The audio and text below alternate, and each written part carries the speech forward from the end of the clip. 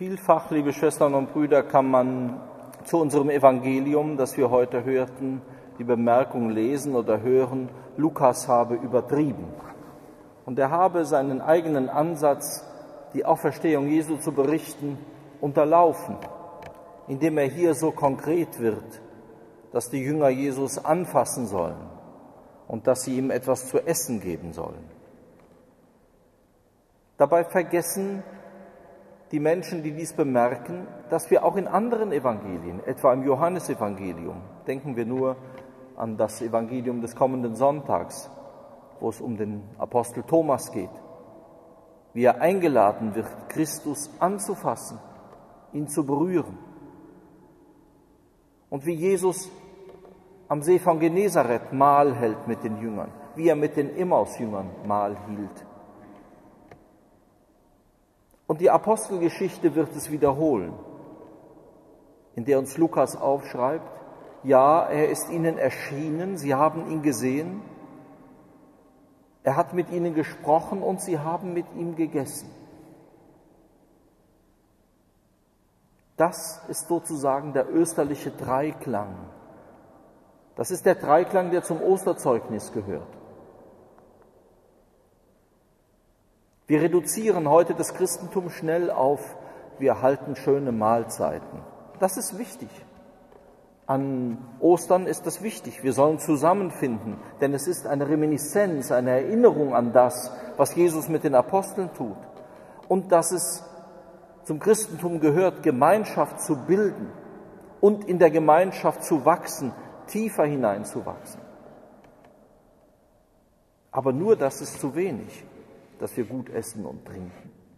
Nur die Gemeinschaft, wir sind unter uns. Wir sind eben nie nur unter uns. Es ist der springende Punkt der Osterbotschaft, dass der Auferstandene da ist. Und alles muss sich nach ihm richten und nach ihm ausrichten.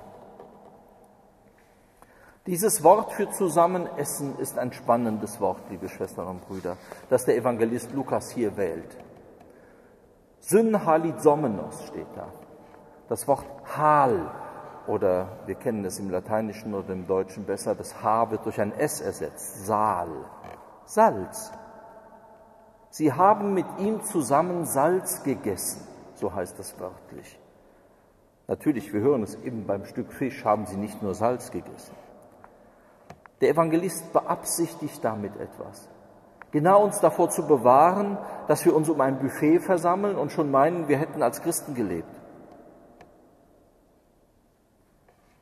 Wir essen mit Christus Salz. Das heißt, unsere Haltbarkeit als Christen, unsere Würze, Jesus spricht öfter vom Salz im Evangelium zu Lebzeiten, erhalten wir von ihm allein, von niemandem sonst. Und auch nach seiner Auferstehung in einer neuen Existenz, der der Tod nichts mehr anhaben kann, in einer Existenz ganz von Gott her, in dieser, wenn wir so wollen, neuen Dimension des Lebens, zu der er uns ziehen will durch seine Nachfolge.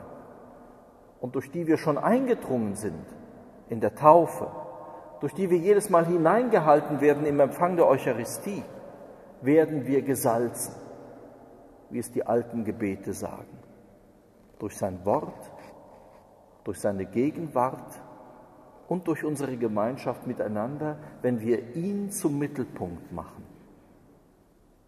Das Salz von ihm zum Empfangen macht uns unverwechselbar als Christen und hält uns österlich frisch.